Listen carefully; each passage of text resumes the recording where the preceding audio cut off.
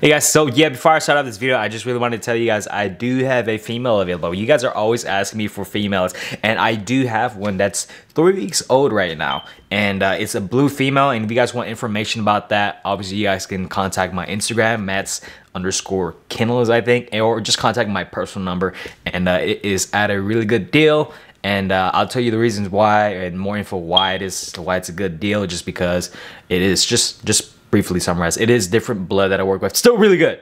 Still really good. But if you want the extreme extreme, obviously that is a whole totally different pricing. But it's a really good foundation female. Thank you guys so much. Let's actually get on with talking about incubators. Love y'all. Peace.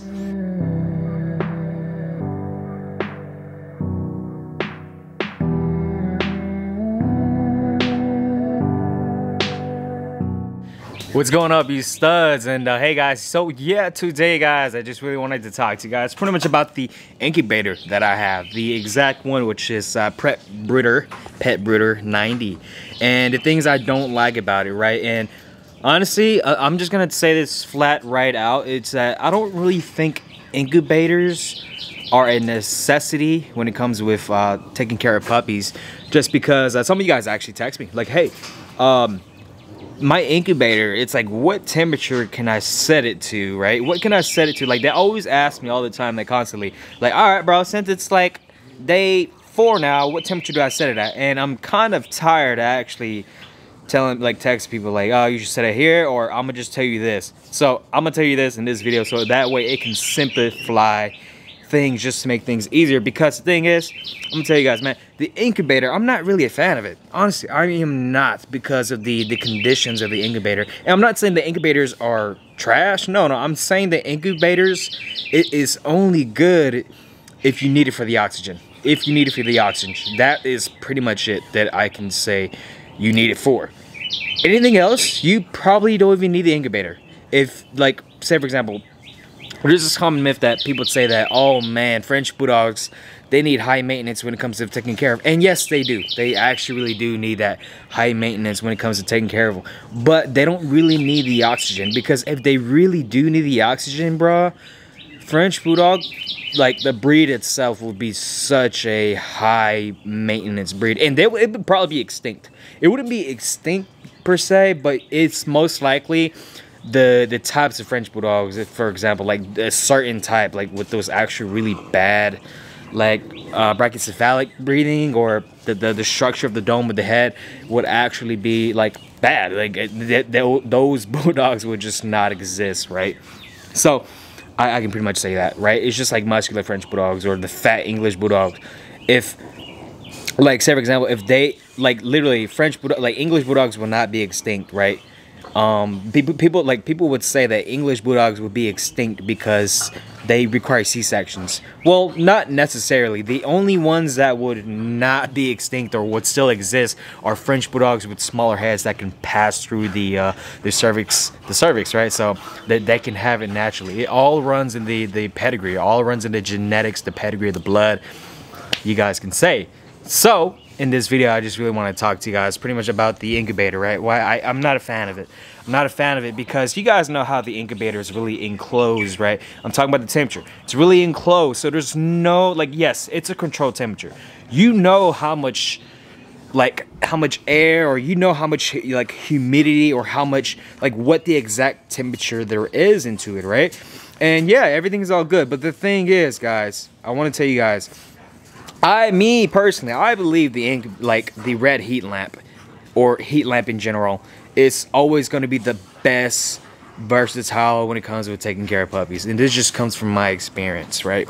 This comes from my experience because I always tell people like, if you're using an incubator and they don't need the oxygen, then don't use it. Just just use a traditional heat lamp right? Especially when they're they're new to this incubator. I'm not saying you you don't want like you can't try. Yes, you can try and do what's best for you, but this is for what I've experienced with the the, the heat lamp is that what I always do, how I set up my whelping boxes, right? I've always set it up half hot, half cold.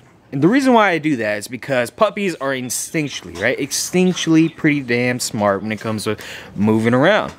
So they're, they're pretty they're pretty good. They're pretty smart. So it's just like, you know, when when they're all hot, they're gonna disperse away from each other. Like they're not gonna huddle. But when they're cold, obviously they're gonna huddle. They need that temperature. They need that body warmth from the mom or from the puppies from each other. It's literally survival of the fittest, right?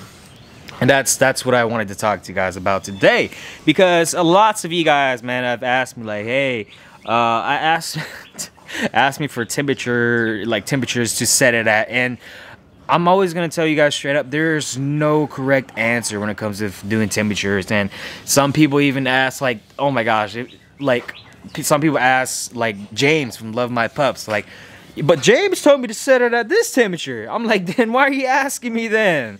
But the thing I understand why they're asking because they want to they want a second opinion. They want a different brain to pick it out of, right? Everybody whelps their puppies different. There's no like correct way, but what I can always say to you guys, there's a general guideline to follow of what works best for you and your puppies. So, what I think about the incubator, me personally, I, I, I just I, I, I don't even use it to this day anymore just because like my puppies don't even need it. I only use it if they need that saline or they need that oxygen and that's pretty much it. that literally is pretty much it, right? So heat lamp, summarize. One hot zone and one cold zone. You just have a huge setup box, right? And just make sure your whelping pads or your, your, your box or your kiddie pool. I use a kiddie pool and they do amazing into that. It looks ghetto, but trust me, it works pretty damn good. And you don't have to have expensive shit, right? You don't have to have expensive stuff to take care of your puppies. But what I do need to tell you guys is that just make sure you have everything beforehand. Say, for example, like the heat lamp in general or heat pads. Heat pads are also really good. You can do the same method. One hot, one cold with the heat pads. Same thing. It's it's it's not common. I'm gonna say it's common sense, but it's not really common sense. It's more like from experience, and hopefully this guys helps you out. Really, I, am really speaking from the heart here, from what I've learned with the incubator. Incubators are not a necessity, right? It's it, it really is not. You don't really need it unless unless you need it for the oxygen and that's pretty much it that really is it and so if you guys are curious how i set up my things um Looks ghetto, I know, but I set it up with the kiddie pool with a big ass like cage around, right? That's how I set it up. And then after that, I uh, I do like old clothes or I do like towels around my my my litter, like my whelping place.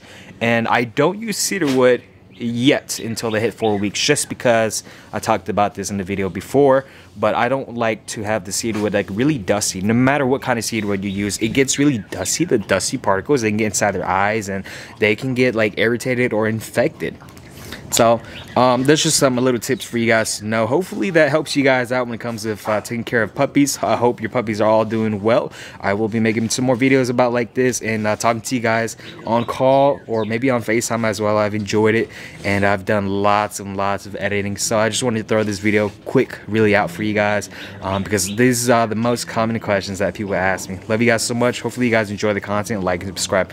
Peace y'all studs.